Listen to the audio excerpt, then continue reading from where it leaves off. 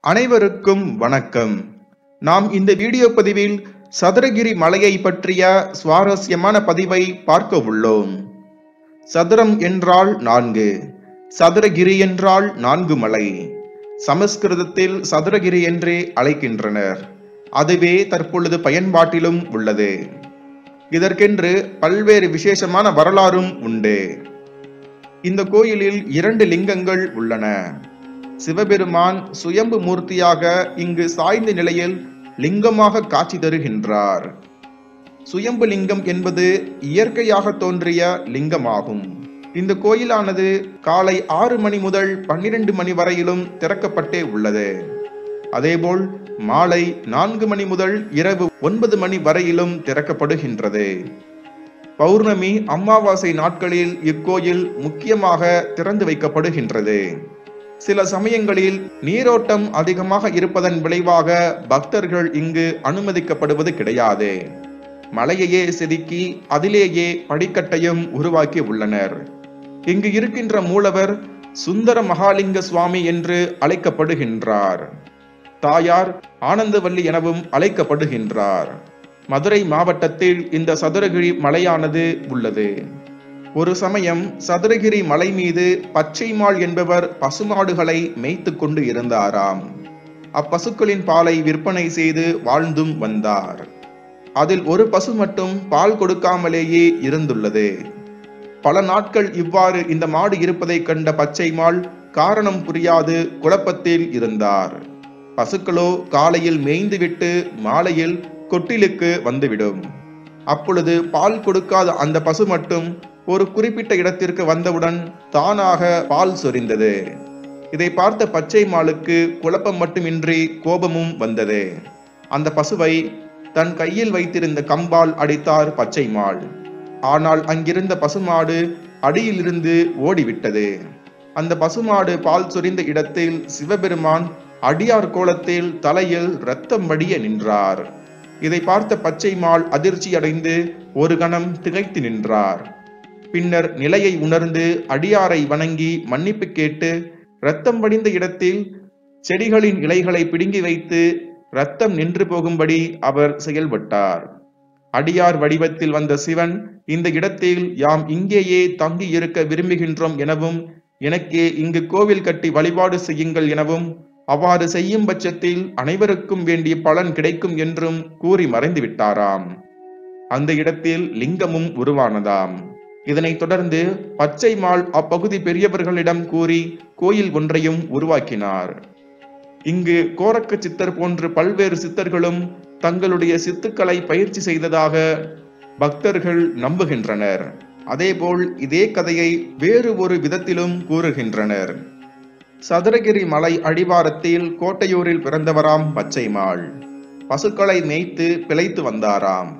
இவரது பெற்றோர் தில்லைக்கோன் திலகமதி. மனைவி சடை மங்கை. இவள் மாமனார் வீட்டில் பாலை கொடுத்துவிட்டு தினமும் வீடு திரும்புவாராம். ஒருமுறை பால் கொண்டு சென்றபோது எதிரில் வந்த துறவி அவளிடம் குடிக்க பால் கேட்டாராம். சடைமங்கையும் கொடுக்கவே தினமும் தனக்கு பால் தரும்படி கேட்டாராம் அந்த துறவி. சடைமங்கையும் சரி என்று ஒப்புக்கொண்டாராம். வழக்கத்தை விட சற்று பால் குறைவதை கவனித்து வந்தார் சடைமங்கையின் மாமனார். இது பற்றி தன்னுடைய மகன் பச்சைமாளுக்கு தெரிவிக்க பச்சைமாள் தனது மனைவியை பின்தொடர்ந்து சென்று அவள் துறவிக்கு பால் தந்ததை அறிந்து கோபம் கொண்டு அடித்தான். தனக்கு பால் கொடுத்ததால் அடி வாங்கிய சடைமங்கை மேல் இரக்கம் கொண்ட துறவி அவளுக்கு சடதாரி என்று பெயரிட்டு காக்கும் தேவியாக சிலையாக மாற்றிவிட்டு மறைந்து விட்டாராம்.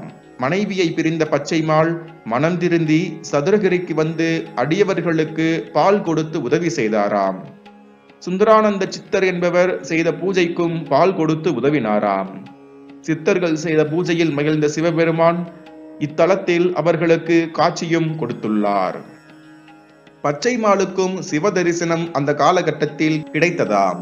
ஒரு நாள் சிவபெருமானோ துறவியின் வேடத்தில் சிவபூஜைக்கு பால் கொடுக்கும் காராம் பசுவின் மடுவில் வாய் வைத்து பால் குடித்துக் கொண்டு இருந்தார். இதை கண்ட பச்சை மாலுக்கு கடும் கோபம் ஏற்பட்டு துறவியின் தலையில் கம்பால் அடித்தாராம். அப்பொழுது சிவபெருமான் புலித்தோல் அணிந்து காட்சி கொடுத்தாராம். சிவனை அடித்துவிட்டதை அறிந்த பச்சைமாள் மிகவும் வருத்தத்துடன் அழ ஆரம்பித்தாராம். அவனை ஆசுவாசப்படுத்திய சிவபெருமான் நீ தேவலோகத்தை சேர்ந்தவன். உன் பெயர் யாழ் வல்லதேவன். நீ யாழ் மீட்டி என்னை பாடி மகிழ்விப்பாய். சிற்றின்ப ஆசை காரணமாக என்னால் சபிக்கப்பட்டு பூலோகத்தில் மனிதனாக பிறந்தாய்.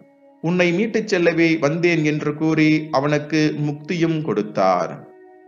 மேலும் சித்தர்களின் வேண்டுகோளுக்கிணங்க மகாலிங்கம் என்ற திருநாமத்துடன் சிவபெருமான் லிங்கமாக தோன்றினார். லிங்கங்களிலேயே பெருமை வாய்ந்தது மகாலிங்கம் என்று சதுரகிரி புராணம் தெரிவிக்கின்றது. மகாலிங்கம் சாய்ந்த நிலையில் இருக்கும். தலையில் அடிபட்ட தழுமையும் அந்த லிங்கத்தில் காணலாம். மலையே சிவனாக இருப்பதால் பக்தர்கள் தங்களுடைய கால்களில் செருப்புகளை அணிவது கிடையாது.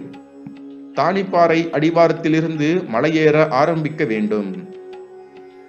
மலையடிவாரத்தில் விநாயகர் கோயில் உள்ளது. அங்கு அவரை வணங்கிவிட்டு மலையேற ஆரம்பிக்கின்றார்கள் சிவபக்தர்கள். வழியில் ராஜயோக காளி பேச்சியம்மன் கருப்பசாமி கோயில்கள் உள்ளன. மேலும் இங்கு பல்வேறு ஊற்றுகளும் வழுக்குப்பாறைகளும் உள்ளன.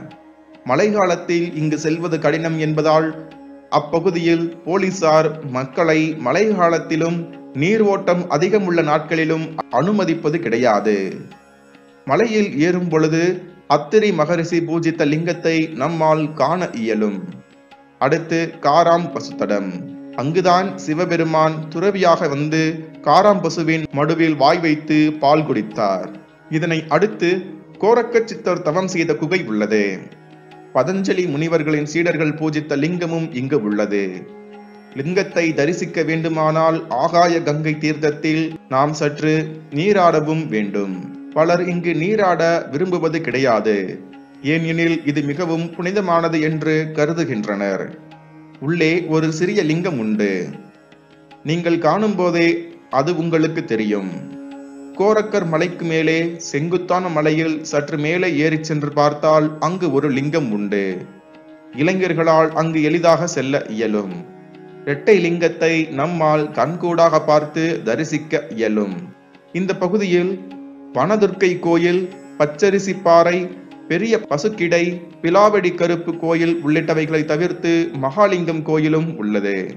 ஆடி அம்மாவாசை திருவிழா நவராத்திரி சிவராத்திரி மகாலய அம்மாவாசை மகா சிவராத்திரி சித்ரா பௌர்ணமி தை அம்மாவாசை மார்கழி மாத அம்மாவாசை பௌர்ணமி நாட்களில் இந்த கோயிலில் சிறப்பு பூஜைகள் நடைபெறும். திருமணத்தடை குழந்தை பாக்கியம் கல்வியில் சிறந்து விளங்க இங்கு உள்ள இறைவனை நாம் பிரார்த்தனை செய்யலாம். மேலும் ஒரு சிலர் கூறுகையில் கைலாயத்தில் சிவன் பார்வதிக்கு திருமணம் நடைபெற்ற பொழுது அகத்தியர் தெற்கே வந்தாராம். அவர் சதுரகிரியில் தங்கி லிங்க வழிபாடும் செய்தாராம். அவர் அமைத்த லிங்கமே சுந்தரமூர்த்தி லிங்கம் ஆகும் என்றும் சதுரகிரியில் அகத்தியர் தங்கியிருந்த குன்றை கும்பமலை என்றும் கூறுகின்றார்களாம். அகத்தியர் பூஜித்த லிங்கத்தை சுந்தரானந்தர் பூஜித்து வந்தாராம். இதனாலேயே இந்த லிங்கத்தை சுந்தரமூர்த்தி லிங்கம் என்று அழைக்கின்றார்களாம். அருளை வழங்குவது சுந்தர மகாலிங்கம் எனவும் பொருளை வழங்குவது சுந்தரமூர்த்தி லிங்கம் என்றும் கூறுகின்றனர். மேலும் இது போன்ற சுவாரஸ்யமான video பதிவுகளுக்கு T News two four seven சேனலை சப்ஸ்கிரைப் செய்யவும். மறக்காமல் பெல் சிம்பலை பிரஸ் செய்யவும். நன்றி. Subscribe, like, comment, and share.